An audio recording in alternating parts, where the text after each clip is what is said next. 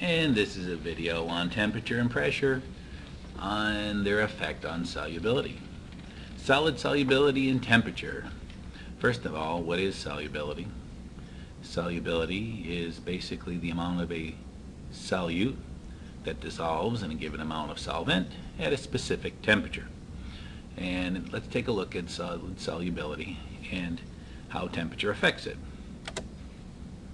And as you can see, for most of these things, what we have is solubility on the y-axis. The solubility is measured in grams per 100 grams of water because remember solubility is uh, an amount, the amount of solute that dissolves in a given amount of solvent at a specific temperature. And on the x-axis we have the temperatures. And you can see for most solids the solubility generally tends to increase as the temperature increases.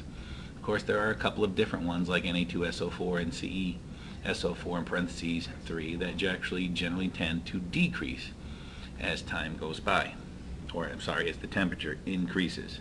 Solubility decreases. So you can see in most cases, solubility increases with the increase in temperature.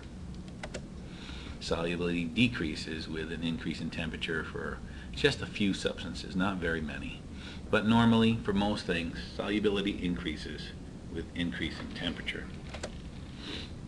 Let's go back for a moment and look at each of these lines. Let's actually specifically look at the KNO3 line because it's really kind of the easiest one to see. It kind of sticks out more than all the rest of them because it's such a steep curve.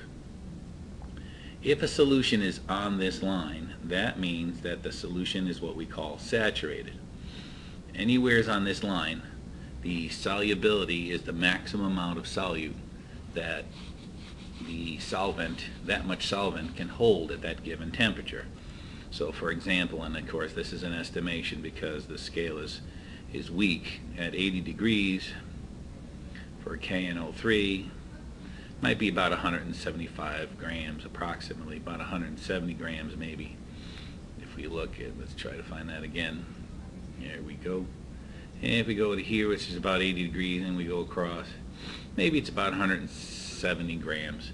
So 170 grams of KNO3 will dissolve in 100 grams of water at 80 degrees Celsius. And we say that the solution is saturated. It's holding the maximum amount of solute that it can hold at a given temperature. If it's below the curve, anywhere below the curve, any amount that's dissolved in the 100 grams of water at a given temperature below the curve, the solution is unsaturated and therefore it means that it can basically um, hold more solute than it actually dissolved in the solvent at that given particular temperature.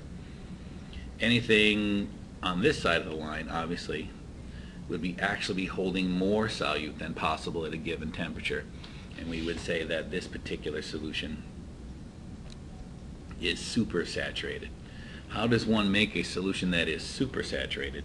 Well, basically what you do is you would take your water and you heat it up to a higher temperature, 80 degrees, let's say. Take our 100 grams of water, heat it up to 80 degrees, let's say.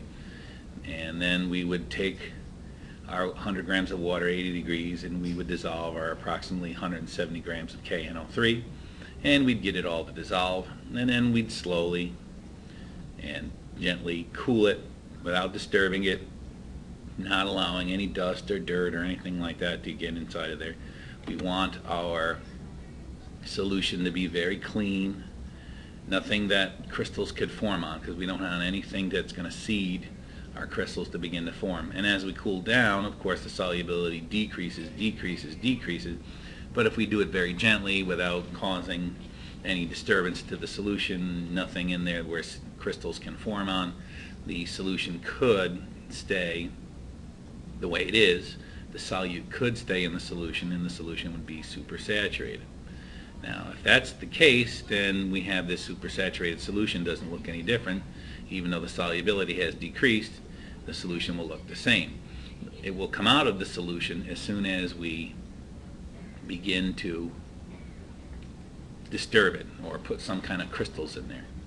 And so obviously if the solubility is about 170 at 80 degrees, let's say we cool it down to 20 degrees, the solubility is only maybe about 45, something like that, 40, 45 grams, then 170 minus 45, we're talking about what?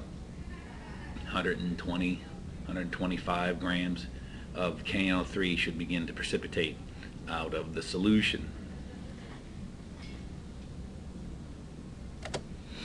Oxygen, gas, and solubility and temperature. Really any gas. This is solubility of gases with temperature. And we can see that the curve looks very different. Uh, the solubility here is measured in moles per liter because concentration in a sense is a solubility. You can measure it in moles per liter, it can be measured in grams per liter, it can be measured in grams per 100 grams. There's different ways of measuring solubility. And we can see as the temperature goes up, the solubility actually decreases. This is why you'll find fish in deeper, colder waters because there's actually more oxygen there.